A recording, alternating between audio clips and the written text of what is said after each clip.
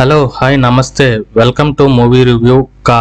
నటీనటుల విషయానికి వస్తే కిరణ్ అబ్బవరం నయన్ సారిక తన్వీరామ్ అచ్యుత్ కుమార్ బలగం జయరామ్ తదితరులు నటించారు. ఈ చిత్రానికి దర్శకులు సందీప్ సుజిత్ నిర్మాతలు చింతా గోపాలకృష్ణారెడ్డి సంగీత దర్శకుడు శామ్ సిఎస్. ఇక ఈ చిత్రానికి సినిమాటోగ్రఫీ సతీష్ రెడ్డి మసాన్ డేనియల్ విశ్వాస్. ఇక కథ విషయానికి వస్తే అభినయ్ వాసుదేవ్ అనగా కిరణ్ అబ్బవరం ఓ అనాథ. తన వాళ్ళ కోసం చిన్నతనం నుంచి పరితపిస్తూ ఉంటాడు. తన వాళ్ళపై తనకు ఉన్న ప్రేమ కారణంగానే అనాథ ఆశ్రమం నుంచి పారిపోతాడు. ఈ క్రమంలో తన మాస్టర్ గురునాథం అనగా బలగం జయరాం వద్ద ఉన్న డబ్బును కాజేసి పారిపోతాడు. అయితే అభినవ్ వాసుదేవ్కి చిన్నతనం నుంచే ఎదుటి వాళ్ళ ఉత్తరాలు చదవడం బాగా ఇష్టం. అలా చదువుతూ తన సొంత వాళ్ళే రాసినట్టుగా ఫీల్ అవుతూ ఉంటాడు. అలాంటి వాసుదేవ్ కృష్ణగిరి ప్రాంతానికి వచ్చి పోస్ట్ మ్యాన్ ఉద్యోగంలో జాయిన్ అవుతాడు.